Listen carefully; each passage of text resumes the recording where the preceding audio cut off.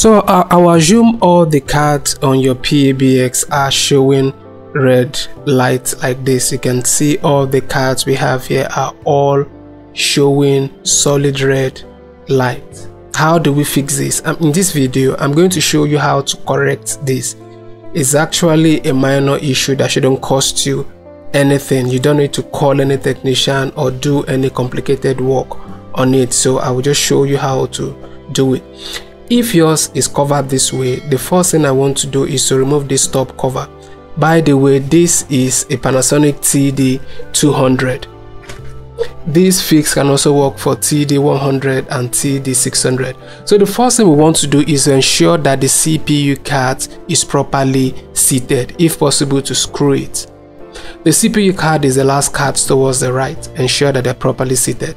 Now the PABS is off, I'm going to show you how to fix this error. Now let's look at the cards that we have here. We have around 8 cards or so. I think 8 cards.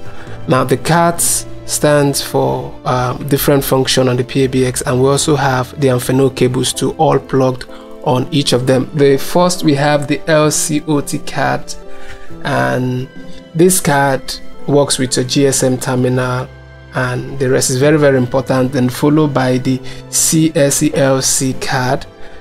And we have the CLC card again. This is also a CLC card. We have CLC card also. We have CLC card. Why this is CLC card? And we have the finally we have the DHLC card. So you see these two cards the DHLC card and the LCOT card these two cards are very very important for any PABX this controls your um, GSM terminal if you have one connected and your console phone. Now let's go back to this issue. Now on this PABS on the CPU card you'll notice a port there an SD card port. This SD card port controls contains the programmings of the PABX on the card. All the program programming that was done on the PABS is saved on this SD card too. It is very, very, very, very important. You have this card plugged in on your PABS all the time. And you shouldn't remove it for any reason except you're replacing it with another one. Okay, so because the PABS is off, that is why I had to remove it to show you.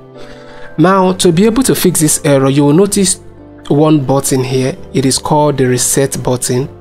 And there's another switch here, which is the initialization switch. So the first thing we want to do before we do anything is to initialize the system. So you're going to power on your PABS and you're going to flip the switch off, then flip it on again.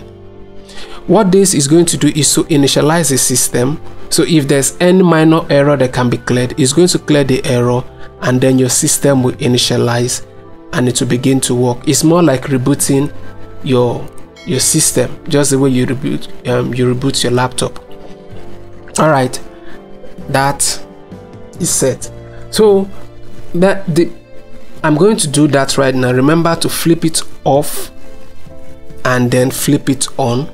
So that will initialize the system. This card is actually the CPU card by the way. It will initialize it now. Let's go to the button. This is a reset button. What we are going to do is to press down the button. Now when you're pressing down the button, bear in mind that every setting on this is going to reset itself and go back to default. That means you have to reprogram the numbers again and set them all accordingly. So let's switch this system on and see. Now this is the the power pack area. This is the part that controls the power. So remember to plug in your your your cable to this that is what we're going to do and then if it has issue just remove these two screws here and then bring it out straight out this way just like you bring out the the individual cards on it and then you fix it or you replace it and bring it back. So I, I have been able to initialize this one and let's see if it is going to solve the problem. Now that I've initialized it I've pressed the button and I've initialize it. Let's see if this is going to solve the problem. Hopefully to solve the problem. Or just be patient and wait. So once again remember what we did what we did first before anything is to initialize it you flip the uh, the switch off and you flip it on. Remember your PABX has to be on before you do any of this. You flip it on and off and that is going to initialize the system. It will clear minor error and the problem will be solved.